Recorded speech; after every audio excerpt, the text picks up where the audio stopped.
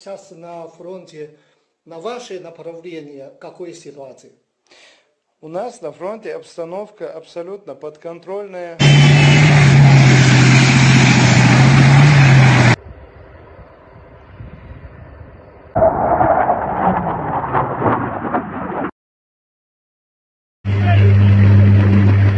Пока нас не было, противник продвинулся на территорию России. террористический, террористическое, это террористов. Террористические ячейки, элементов террористических, экстремистских.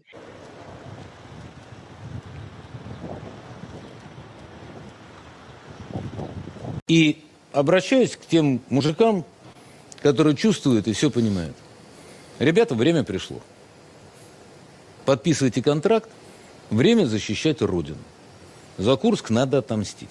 Я мама солдата-срочника Оздранина Даниила Дмитриевича, 2004 года рождения. Мне неизвестно, как он попал э, на границу Суджи, Суджи. В данный момент мой ребенок находится в плену. Опять же взять этих пленных, которые сдались без боя фактически. Война в стиле лакшери. Скажу, может быть, неприятную вещь для многих, тем более родителей этих парней, которые находятся в плену. Но их нельзя менять. Появилось, спрос появился, увеличили. Зашедшие фашистские формирования на территорию Суджи, что они делают? Они находят там детский дом. И вот в этом детском доме они сами селятся на первом этаже. Детей и преподавателей загоняют на второй этаже. На второй этаж из них делает для себя щит. Дайте сигарет, пожалуйста. Ротку. Сюда что, как дошел? А? А сюда как дошел? Властью граблю. Это нарушение прав человека. Это нарушение прав человека. И нарушение прав человека – терроризм, террористические преступления. Друзья, пока вооруженные силы Украины окружают новые территории и двигаются в новых направлениях на Курской области, срочников менять нельзя, ведь они сдались без боя. Так работает российская пропаганда, и, возможно, такое решение принял Путин. Я считаю так, что это видео нужно показать всем, особенно этим матерям, которые отправляют своих детей воевать против Украины. Так цинично русские русских еще не бросали. Чекист Михаил Полынков – ближайший соратник террориста Стрелкова-Гиркина призывает не, обвен... не обменивать 18-летних срочников, которые сдались в Курской области без боя. Друзья, в этом блоге мы посмотрим, что делает Путин, почему Путин сейчас ест яблоки, пьет чай, пока вооруженные силы Украины двигаются по Курской области, уже более 92 населенных пункта под контролем ВСУ, 2000 или даже 3000 россиян сейчас в котле русских военных, а в этот момент Путин уехал из Москвы и ест яблоки. Друзья, я Дарья Счастливая, это мой YouTube-канал Даша Счастливая. Лайк, комментарий, подписка приветствуется. Движемся к 300 тысячам, друзья. Давайте поддержите меня, пожалуйста, и напишите в комментарии географию просмотров, а также, что вы думаете о ситуации в целом. Итак, заявление, которое он только что анонсировала, срочникам менять нельзя, ведь они сдались без боя. Смотрим. Этих пленных которые сдались без боя фактически. Я просто тоже вчера видел э, наш укрепрайон, такой построенный, добротный, шикарный, можно сказать, война в стиле лакшери. Без вообще вида, что он как-то оборонялся. То есть они сдали его без боя. И сейчас э, украинская сторона использует их иноплемных, чтобы забрать всех своих последних азовцев, которые находятся у нас в плену. Да, не всех, но Медведчука обменяли. Они еще есть там. Скажу, может быть, неприятную вещь для многих, тем более родителей этих парней, которые находятся в плену. Но их нельзя менять. Нельзя, потому что они сдались без боя. Дальше кто-то может мне там упрекнуть, там, диванный воин, там, как ты можешь так говорить, окажись на их месте. Я мог оказаться на их месте. Вот на самом деле, как бы, я могу об этом говорить. Друзья, мне кажется, лучше, чтобы вы это прокомментировали меня внизу, в комментариях. Я ставлю это сейчас без реакции. Также Соловьев считает, что в бой идут одни срочники. Причем у него есть двое взрослых сыновей, которые сейчас живут в Великобритании, в этом загнивающем Западе. Слушаем, друзья. Обращаюсь к тем мужикам, которые чувствуют и все понимают. Ребята, время пришло. Подписывайте контракт. Время защищать Родину. За Курск надо отомстить. И вот мама срочника, которого сейчас находится в плену, она сделала свое видеообращение в надежде, что Владимир Владимирович Путин его услышит. Он услышал и сделал выводы. Срочников менять не будут. Это же не Красиков тебе. Здравствуйте. Я мама солдата-срочника Оздранина Даниила Дмитриевича, 2004 года рождения. Он служил в армии и неизвестно, э, мне неизвестно как он попал э, на границу Суджи, Суджи. В данный момент мой ребенок находится в плену. Ему 19 лет. Мы ждем его здесь. Любим и очень надеемся на то, что э, вы увидите это видео и обязательно примете такое решение. Там находится не только мой ребенок, там находятся еще э, детки других родителей, которые тоже ждут их, любят. Э, я вас прошу, пожалуйста, сделайте все возможное. Обменяйте наших детей на ребят с Азова. Мы, мы очень любим своих детей и не хотим, чтобы с ними что-то случилось. Они ни в чем не виноваты. Они ни в чем не виноваты, они просто напали на другую землю. Они напали на территорию Украины, они убивали, они действительно, видите, вот после этого еще она считает, что они ни в чем не виноваты. Сынок, Дань, мам тебя ждет и очень любит. Ну, уже, как говорится, Дани все все ответили. Все, да не все, друзья. Аптилаудинов считает, что, в принципе, только срочники должны уйти, тут, а другие считают, что и срочников не надо никаким образом обменивать ни на кого. Смотрим заявление Алудинова. Вы знаете, э, вот я последний период наблюдаю такую картину.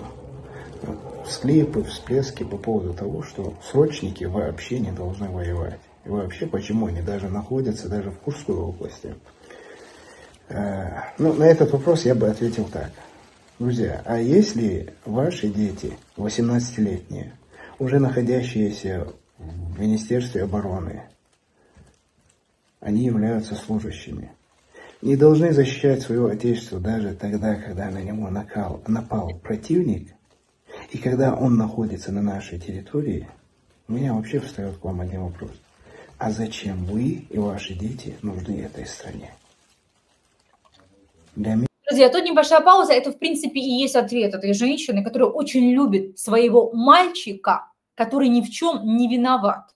Да, вы понимаете, что я хочу сказать, но мы же слушаем дальше, это еще не конец. Меня это очень странно, когда вы задаете такое количество вопросов по этому поводу. Как так может быть? Я реально вас не понимаю. Да, я понимаю, если вы говорите, что вот там у вас контракты, а у нас, у наших детей там зарплаты там маленькие, там еще что-то. Они могут запросто подписать контракт и пойти служить, как и другие. У меня в спецназе Ахмад очень большой процент ребят возраста 18, 19, 20 лет. И это герои, реально герои, которыми я горжусь. И сражаются как мужчины. Не надо из 18-летних срочников мужчин делать детей, которым мы должны там дать соску и отправить его спать. Это такой же защитник Отечества, как и мы. Он должен это осознавать. Его надо к этому готовить. Не надо его готовить к тому, что он вообще не должен быть нигде, не должен принимать участие ни в чем, и он должен просто прийти, бесплатно поесть хлеб государства, поносить одежду, которую ему будет давать государство, и потом пойти домой и рассказывать о том, что он служил. Да, я понимаю, что Верховный Главнокомандующий принял решение для того, чтобы они не, служили нигде. Друзья, пока вооруженные силы Украины в котле, в Курской области могут оказаться до трех тысяч солдат вооруженных сил Российской Федерации, Путин выехал из Курской области, точнее, в нее не въезжал, он сбежал подальше.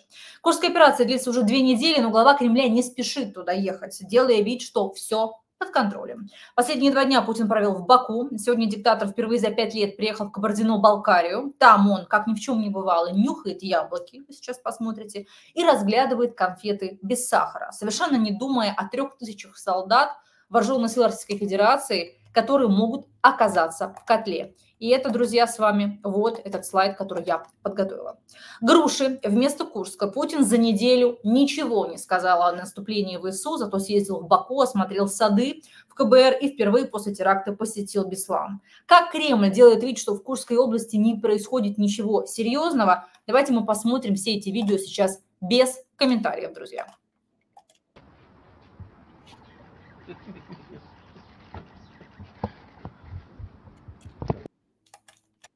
Потребность есть. Кто у кого сахарный диабет, вот для них без сахара нет, ничего нет. У кого сахарный диабет, да, вот это вот конфеты без сахара. Натуральный пюре. Все, яблочное. Да, яблочное. Здесь э, 200 граммов было. Вот стаканчик висит в пакете. 50 рублей. Лучше, чем жвачка. Да? Конечно, врачи говорят, надо детям кушать от кариеса. Ну, видят 2 килограммов, 2 килограммов, 800 грамм, 200 грамм. Тут 2 килограмма. Спрос появился, увеличили сады до 200 гектаров.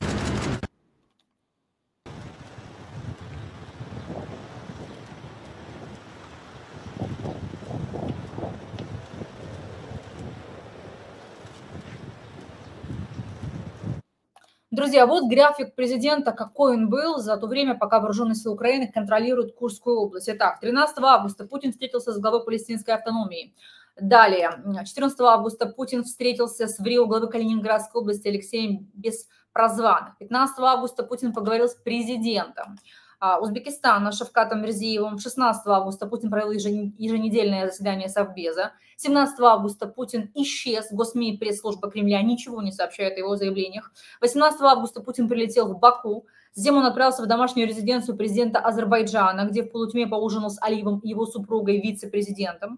19 августа Путин провел переговоры с Алиевым. Вот, кстати, весь график мы подготовили. Президент Азербайджана прокатал коллегу на немецком автомобиле «Мерседес» по центральным улицам Баку. Ну а 20 августа Путин прибыл в Кабардино-Балкарию, там он смотрел грушевые сады, вы это видели, и продукцию местного агрохолдинга. Затем посетил осетинский город Беслан, который в этом году отмечает 20-летие самого страшного теракта в истории России. За 20 лет президент приехал впервые и нашел впервые время туда заехать. И в этот момент, друзья, в котле Курской области могут оказаться до 3000 солдат во- вооруженных сил Российской Федерации. Об этом сообщает Бильд.